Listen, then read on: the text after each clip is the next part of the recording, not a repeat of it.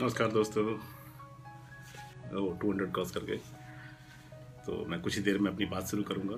एक एक करके ज्वाइन होते जा रहे हैं। We are touching one thousand now so good afternoon friends सभी शेप शॉपर्स को, सभी वॉल इंडियंस को मेरा बहुत बहुत नमस्कार, बहुत बहुत आभार आपका कि आप दोपहर में मुझसे मिलने आए, मेरी बात सुनने आए, मेरा हौसला अफजाई करने आए।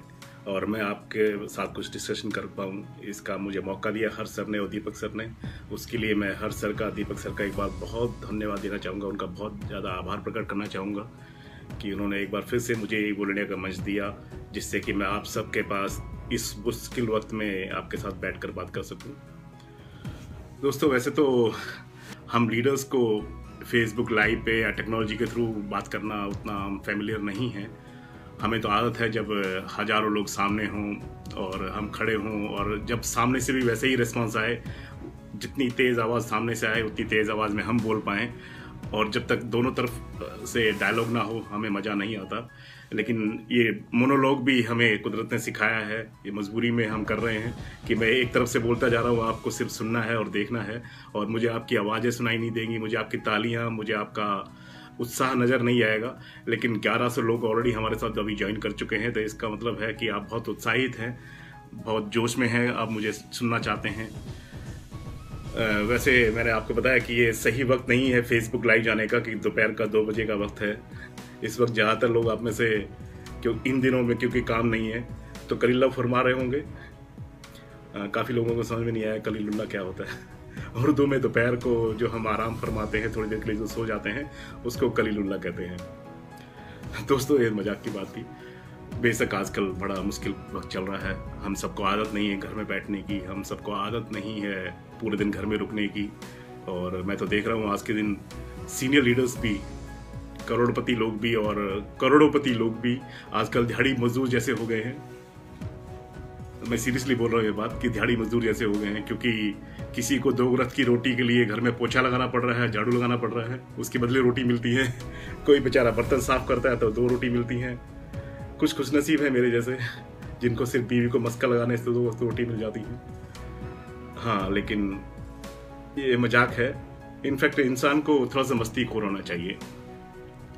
सीरियस लोग तो हॉस्पिटल में मिलते हैं। मस्ती खोर लोग हमारे सामने बैठे हुए हैं। मेरा ये मानना है, जिसकी मस्ती ज़िंदा है, उसकी हस्ती ज़िंदा है। जिसकी मस्ती ज़िंदा है, उसकी हस्ती ज़िंदा है। वो कहते हैं ना, फ़िक्र में रहते हैं तो खुद जलते हैं, बेफिक्रे रहते हैं तो दुनिया जलती है। अगर हम मुरझाए रहेंगे तो अपना ही खून जलेगा, और अगर हम मुस्कुराएँगे तो दुनिया हमें देख देख के जलेगी। ये आजकल बिल्कुल सच है। आजकल लॉकडाउन का वक्त है, और लॉकडाउन के टाइम में क्योंकि हम सबकी ऊपर बंदी से लागू हैं, हम बाहर नहीं निकल पा रहे हैं, हम घरों में कैद हैं। लेकिन एक, आजकल हमें सोचना चाहिए कि जो हमारे गाँव में, देहात में, छोटे कस्बों में और इवन शहरों में भी लाखों करोड़ों ऐसी हाउस हैं, जिनके लिए हमेशा के लिए लॉकडाउन है। उन्होंने बेचारियों ने कभी अपने घर के बाहर देखा ही नहीं, अपने मोहल्ले के बाहर देखा ही नहीं। कभी वो अपने शहर की तरफ़ नहीं गई या गई तो बहुत दिनों के बाद किसी खास मौके पे किसी शादी में या किसी फ़ंक्शन में ही उनको जाने का मौका मिलता है। उनके लिए तो हमेशा ही लॉकडाउन है। सोच के देखिए उनके बारे में, उनकी ज़िंदगी कैसी है। हमें दस दिन हुए हैं। इन दस दिनों में हमें लग रहा है कि पता नहीं क्या हो गया हमारे साथ। लेकिन कुछ भी नहीं हुआ। उन हाउस वाइफ्स के लिए तो हमेशा के लिए लॉकडाउन है। याद कीजिए आज वो दिन जब काठमांडू से एक फ़्लाइट उड़ी थी एयर इंडिया की। इंडियन एयरलाइंस की, जिसको दिल्ली आना था और उसको आतंकवादियों ने हाईजैक कर लिया था। दिल्ली लैंड करने के बाद वो कहीं उसको अमृतसर ले गए, उसके बाद कहीं पाकिस्तान में उतारा अल्टीमेटली उसको कंधार में, अफ़गानिस्तान में जाकर रोक दिया उन्होंने। सैकड़ों लोग थे उस फ़्लाइट कर होती है तो हमें उस दो घंटे की फ़्लाइट में अपनी उस सीट पर बैठे बैठे हम तंग हो जाते हैं, परेशान हो जाते हैं, हम उठकर जाना चाहते हैं।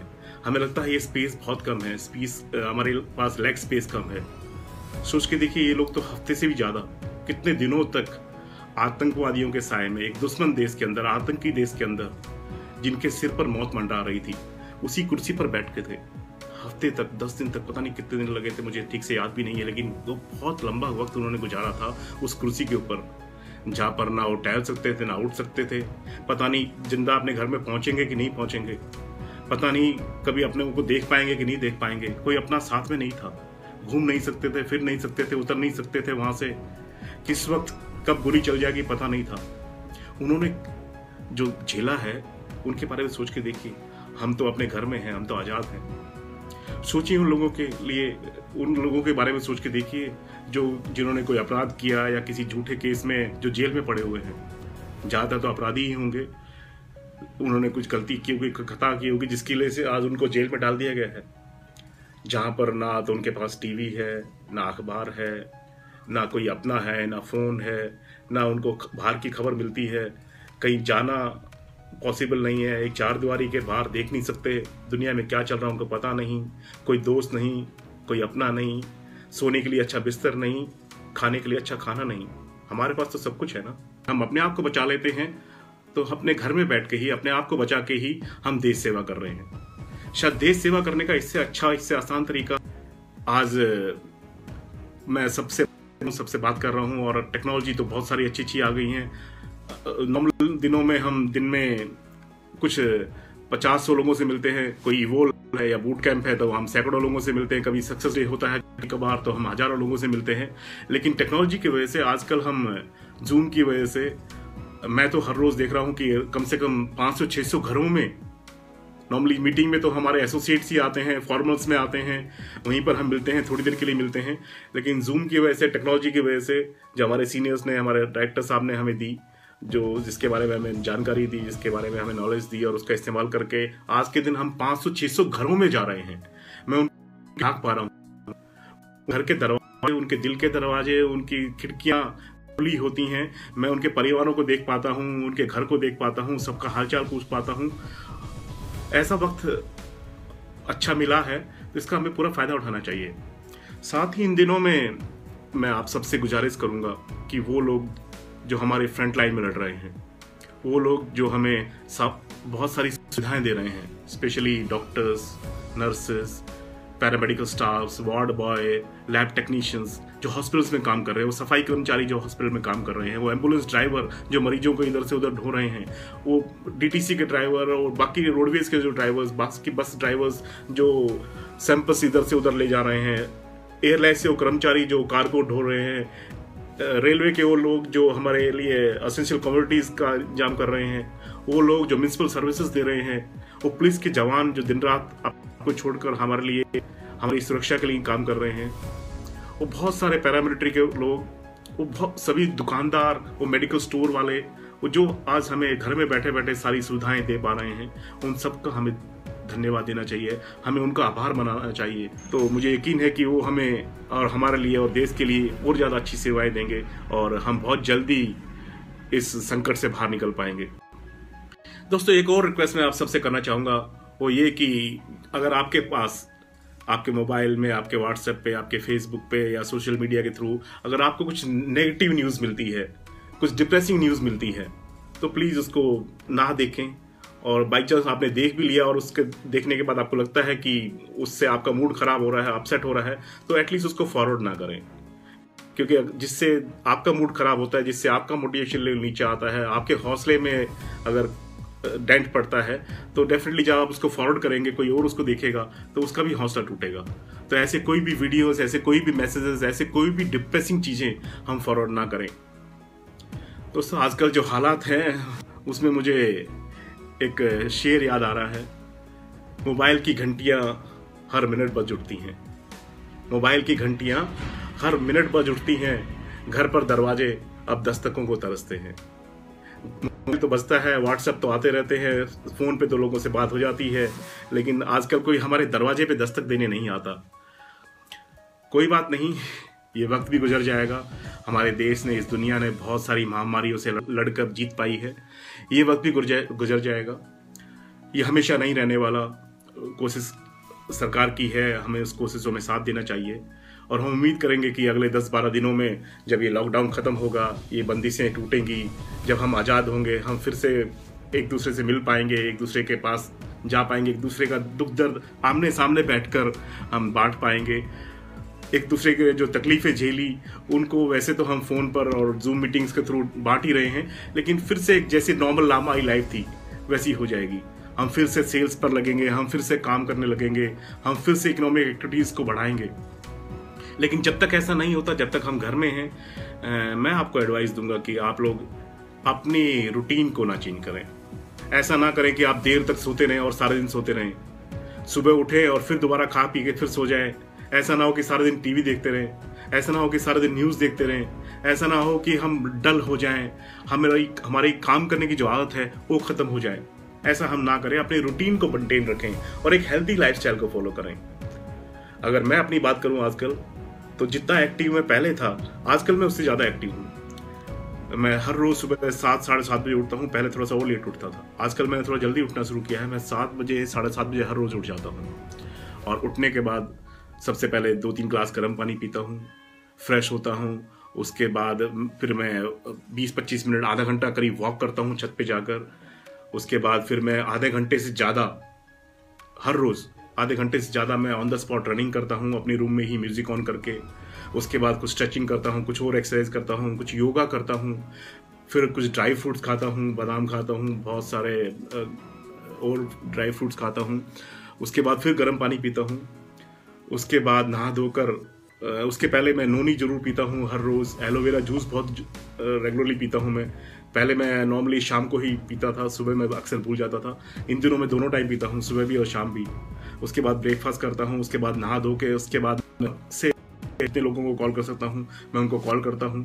फिर मुझे एक बजे का इंतज़ार बड़ा रहता है जब हमारे ऑनरेबल डायरेक्टर साहब, सारे हमारे साथ जूम मीटिंग में होते हैं सेफ़ शॉप की वो इंडिया के सारे टॉप लीडर्स उस मीटिंग में होते हैं, जिसमें हमें हर रोज़ मोटिवेशन की डोज मिलती है, उसका बड़ा बेबरी से इंतज़ार है। और उसके बाद एक के बाद एक लगातार जूम मीटिंग्स होती रहती हैं और करीब छः बजे तक ये सिलसिला चलता है। शाम को फिर मैं छत पे जाता हूँ, शाम को छत पे जाके फिर से वॉक करता हूँ, थोड़ा बहुत स्ट्रेचिंग करता हूँ लूजनिंग करता हूँ। और, अच्छे मौसम है आजकल, छत पे जाके बहुत अच्छा लगता है, बड़ी अच्छी हवाएँ चलती हैं। और पड़ोसी भी छत पे दिखाई देते हैं गलियों में। तो बहुत अच्छा टाइम बीत रहा है। और मैं भी रिक्वेस्ट करूँगा कि आप भी अपनी हेल्थ का बहुत ध्यान रखें। और मैं तो चाहूँगा, अगर एक चीज़ आप मुझसे सीखना चाहें, बहुत सारे लोग कहते हैं कि आप इसके जैसा बनना चाहते हैं, आप के जैसा होना चाहते हैं। एक चीज़ अगर आप मुझसे कोई सीखना चाहते हैं तो मैं वो कहूँगा कि आप डिसिप्लिन सीखिए। डिसिप्लिन लाइफ में बहुत ज़रूरी है।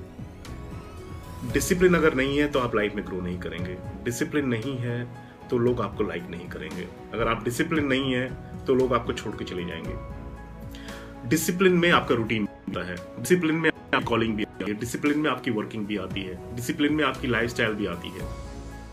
अगर मैं बात करूँ, जब मैं हॉस्पिटलाइज था, बहुत सारे लोग आप जानते हैं, जब एक एक्सीडेंट विक्टिम था और मुझे साल भर हॉस्पिटल में रहना पड़ा था। करीब तीन महीने तक आईसीयू में था मैं। और ये डिसिप्लिन मैंने उस आईसीयू में नहीं तोड़ा था। अपने एल्बोज की मूवमेंट करता था शोल्डर के मूवमेंट जो मैं कर सकता था, उस वक्त मैं करने की कोशिश करता था। मुझे याद है जब ऑपरेशन थिएटर आईसीयू एक जैसा दिखता था मुझे। लगातार कभी आईसीयू में और ऑपरेशन थिएटर में मैं लगा रहता था। समझ में नहीं आता था कि आईसीयू में हूँ या ओटी में हूँ। मुझे याद है अक्सर जब ओटी से बाहर निकलते थे तो वेंटिलेटर रूम में जब एक एक करके पेशेंट जिनका ऑपरेशन हुआ होता था, उनको होश आता था तो वो रोना शुरू करते थे, चीखना शुरू करते थे। और मुझे याद है डॉक्टर्स नर्सेज जो वहाँ पर होते थे ऑपरेशन थिएटर में। और उसके बाद भी ये रो नहीं रहा है, उसके बाद भी ये चीख नहीं रहा है। तो ऐसे एग्ज़ाम्पल हम सेट करें। रोने से, चीखने से आपका दर्द कम नहीं हो जाएगा। आपका चेहरा लटकाने से आपकी तकलीफें कम नहीं हो जाएँगी। मुस्कुराने से बहुत सारी तकलीफें अपने आप कम हो जाती हैं तो ये वक्त बहुत अच्छा है आप सबके लिए कि आप अपनी फाइनेंशियल प्लानिंग करें। अगर आपको नहीं पता फाइनेंशियल प्लानिंग कैसे करनी है तो आप अपने अपलाइन से बात करें, अपने लीडर्स से बात करें। वो आपको गाइड करेंगे कि फाइनेंशियल प्लानिंग कैसे होती है। और जो डायरेक्ट सेलिंग इंडस्ट्री है, ये सबसे पहले रिकवर करेगी। और, इस बात का यकीन मैं आपको दिला सकता हूँ, क्योंकि मैं और बाकी लीडर्स सभी सीनियर्स हर रोज़ मिलते हैं, बात करते हैं डायरेक्टर्स के साथ टच में हैं मैनेजमेंट के साथ टच में हैं। तो उनसे बात करने के बाद ये जो हर रोज़ मीटिंग हम करते हैं, उसके बेसिस पे मैं आपको एक बात की गारंटी दे सकता हूँ। गारंटी दे सकता हूँ कि सेफ़ शॉप सबसे पहले करेगी। कॉमन हालात की बात कर रहा हूँ। जब लॉकडाउन नहीं है, जब हम नॉर्मल लाइफ जी रहे थे पहले की तरह, अगर ऐसे वक्त की मैं बात करूँ तो जो अमीर लोग होते हैं ना, उनके पास बहुत सारे रास्ते होते हैं अपनी कमाई बढ़ाने के। पास बहुत अच्छे एडवाइजर एक से एक बड़े सलाहकार होते हैं जो उनको बताते हैं, बता, सलाह देते रहते हैं कि आप अपनी कमाई कैसे बढ़ा सकते हैं। साथ ही जो लोअर क्लास के लोग हैं, जो निम्न वर्ग के लोग हैं, उनको भी ज़्यादा प्रॉब्लम नहीं होती। उनको भी कोई ना कोई तरीका मिल ही जाता है अपनी कमाई करने का, क्योंकि ये लोग ज़्यादातर ऐसे कामों में लगे होते हैं जिसमें कि उनको रोज़गार मिल ही अगर सच बताऊँ तो आजकल जो वर्कर्स